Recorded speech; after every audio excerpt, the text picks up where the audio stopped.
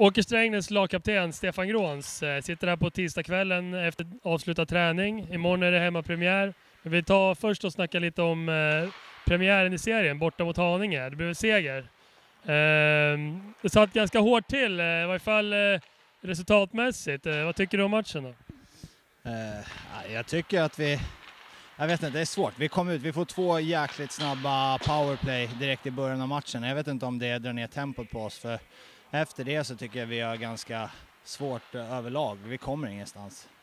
Eh, vi leder visserligen med 1-0 men sen lite oturligt släpper vi in ett när det är 10 sekunder kvar av, av perioden så det blir 1-1.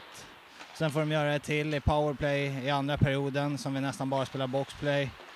Sen tycker jag ändå, vi snackar igenom lite inför tredje perioden, att vi måste komma upp och eh, ja, tycker vi vill, gör väl en okej okay tredje period. Vi går ner på tre femmor och det känns som att vi får lite mer tryck då. Eh, men ja, ja, det satt hårt inne. Jag är glad att vi fick tre poäng. Men kanske lite extra skönt att vända sista tre minuterna och också ta alla poäng från på bortaplan sådär. Eh, ja, det kan man väl säga att det var. Eh, men alltså, jag vet inte. Det är väl en ganska bra egenskap att kunna ta tre poäng när man spelar dåligt.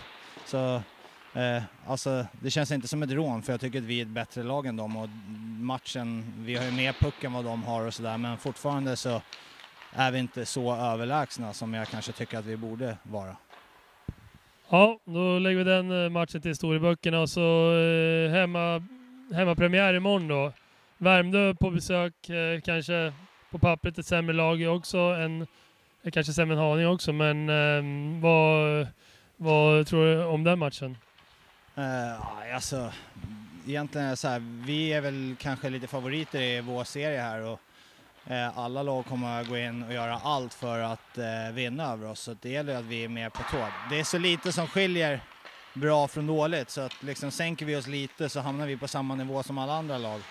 Till exempel senast mot Haninge borta. Men uh, ja, det gäller att vi kommer ut och är förberedda och gör rätt saker och åker mycket skridskor så kan det bli kul.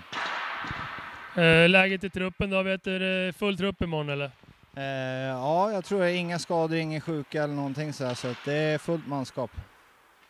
Ja, men då hoppas vi att det blir fullt här i ladan imorgon då, så kör vi hårt. Absolut. Lycka till!